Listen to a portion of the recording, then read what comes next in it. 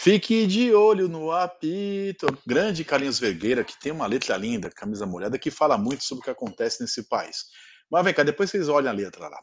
Bom dia, fiel, terça-feira, véspera de Corinthians e, e Atlético Paranaense, outros jogos da rodada, que eu não sei se vai passar no Cidade Alerta, no Datena, ou se vai ser no pay-per-view, não sei se vai ser caso de polícia, ou se vai ser futebol, mas enfim, é, eu podia falar aqui de futebol, quem vai substituir Fausto Vera, que tomou terceira amarela, porque o Daronco é um fanfarrão, né?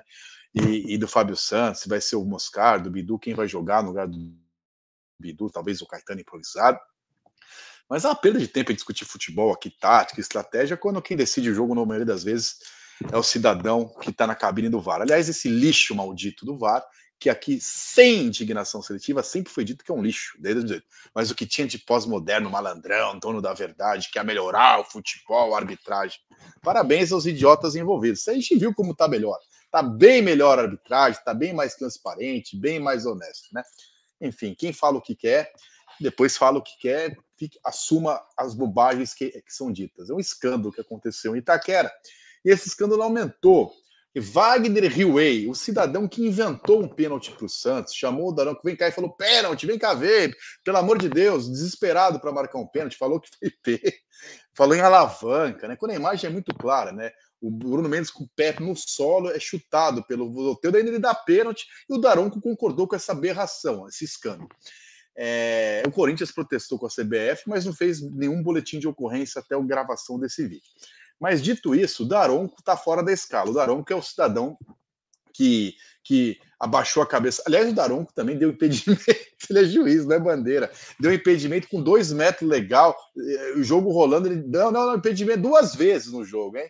E tem gente que acha que a arbitragem é séria, que o VAR é sério, que não interfere. Mas enfim, quem viu o jogo viu o escândalo que foi.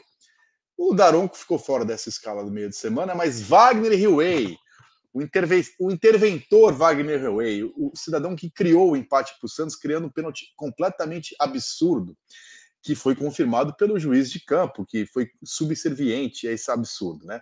Ele foi escalado. Então, quarta-feira, às sete da noite, no horário que o Corinthians foi enfrentar, o... aliás, parabéns aos idiotas envolvidos com essa marcação do horário às 7 horas na véspera de um feriado em São Paulo. Em qualquer dia é um absurdo 7 horas um jogo em Itaquera, no Morumbi. Só que um mora em São Paulo, não conhece nada do sistema é, ferroviário, de metrô e de trem, de ônibus em São Paulo, para achar que sete horas é um horário bom para quem torce para o Corinthians, para o São Paulo, porque não torce para ninguém, só quer voltar para sua casa em paz. É um absurdo, em véspera de feriado. Então, ó, parabéns aos idiotas envolvidos nessa escala.